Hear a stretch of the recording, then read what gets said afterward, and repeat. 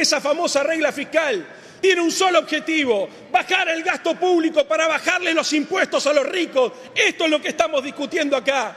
Y le pregunto entonces, ¿dónde queda el discurso y el debate que durante tantos años alguno de ustedes hizo en defensa de la meritocracia? Si finalmente no hay meritocracia en una sociedad donde no hay oportunidades. ¿O no se dan cuenta que estamos eliminando una de las pocas herramientas de movilidad social ascendente como es la universidad? La educación pública está en crisis y coincido con eso, pero todos sabemos que dentro de la crisis de la dentro de la crisis de la educación pública, tal vez lo que más prestigio tenga dentro de nuestro sistema educativo sea la educación superior.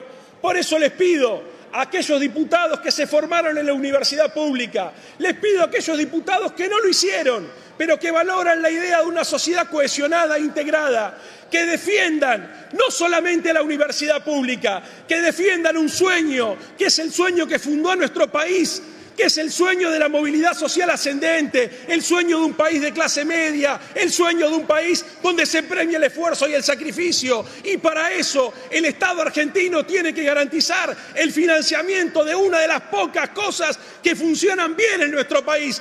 Dejen de destruir lo que funcionan bien y acompáñennos a defender la universidad pública. Gracias. Gracias.